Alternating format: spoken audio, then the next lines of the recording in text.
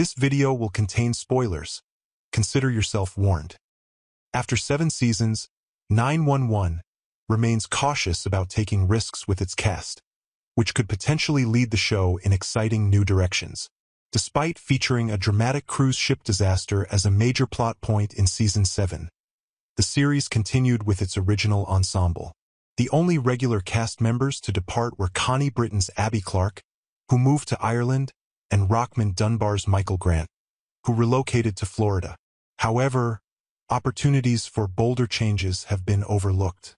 As Season 7 concluded, the fate of a key character was revealed after teasing a significant death among the 118 members.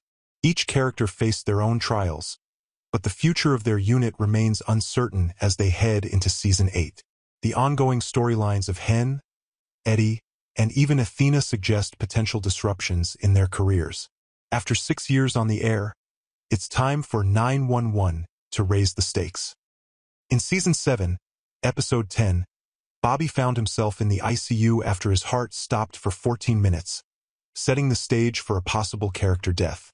Given the severity of his condition, Bobby's survival seemed unlikely. The season also delved into Bobby's past, introducing a character affected by his actions, hinting at a grim outcome. By its 106th episode, 911 appeared ready to make a significant cast change, yet it missed the opportunity. A particularly frustrating moment in the finale featured Bobby calling Athena after she saved Amir from the cartel, despite his critical condition and her brief absence from the hospital.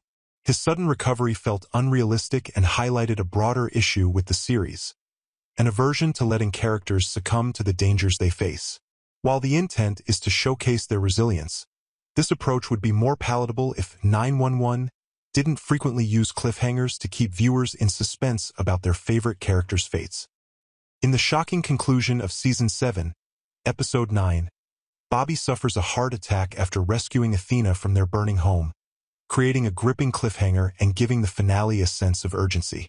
While cliffhangers are a hallmark of 911, their repeated use to leave beloved characters' fates uncertain without real stakes has become a tired plot device.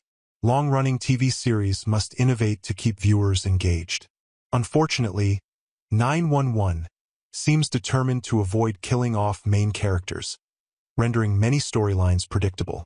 In contrast, firefighter dramas like Chicago Fire and Station 19 frequently kill off prominent characters to underscore the severe dangers of firefighting. For 911 to stay fresh, it needs to defy viewers' expectations and introduce real consequences, as the current lack of stakes is making the storyline stale. So there you have it all. What do you think about 911 Cast? Do share your thoughts in the comments. Like and subscribe for more. I will see you next.